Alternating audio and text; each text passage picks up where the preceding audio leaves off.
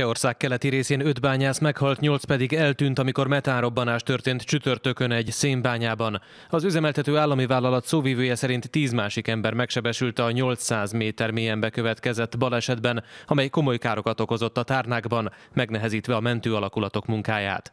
A bánya a lengyel határ közelében található, a dolgozók így a szerencsétlenségben érintettek közül is sokan lengyelek.